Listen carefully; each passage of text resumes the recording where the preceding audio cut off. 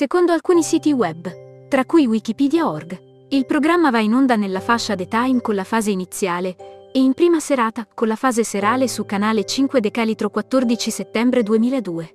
Le prime due edizioni sono state trasmesse su Italia un decalitro 17 settembre 2001 al 27 maggio 2003, mentre dal 16 novembre 2020 al 14 maggio 2021 è tornato su Italia un solamente, per la striscia The Time. Con 22 edizioni all'attivo, è il talent show più longevo della televisione italiana.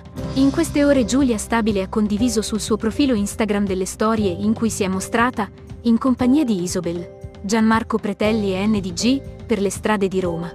Una in particolare ha catturato l'attenzione dei follower, ovvero quella dell'abbraccio affettuoso di Giulia e il cantante di Lorella Cuccarini. In effetti in tanti hanno chiesto come procede la storia d'amore con San Giovanni. Ma la risposta non è arrivata.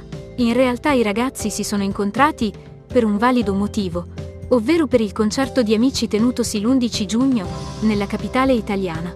Non a caso Giulia e Isobel sono state le conduttrici, in quanto hanno potuto contare su Nicolò De Davitis, l'inviato delle Iene. Tra le varie esibizioni sul palco è arrivato un ospite del tutto inaspettato. Si tratta di una maestra di ballo del talent show. La maestra in questione è Alessandra Celentano, la più temuta in assoluto. Ha fatto fare una lezione alla sbarra agli allievi presenti all'evento. I video realizzati dai presenti hanno fatto il giro del web. Tutto sommato è stato un momento divertente dedito alla danza classica.